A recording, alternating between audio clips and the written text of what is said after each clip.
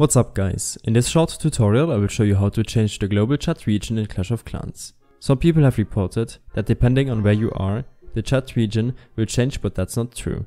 Every player's permanent local area settings and the global chat language is based on where they were first when creating their village. You can check your in-game local rankings to see if your settings are correct. If not, then it's possible that you created your village while abroad or in an emulator using a VPN service. In some cases, certain countries or language groups share the same servers.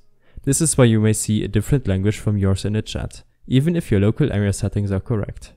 To change the chat region, open up your game settings, go to help and support, my account, my global chat is the wrong language, and here say that you didn't find the article helpful, and you will be able to start a conversation with the Supercell support.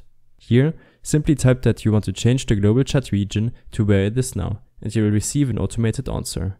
After one or two days, you will receive the real answer from support and your chat region will have changed. I hope this helped you out. Leave a comment if you have any questions and see you in the next one.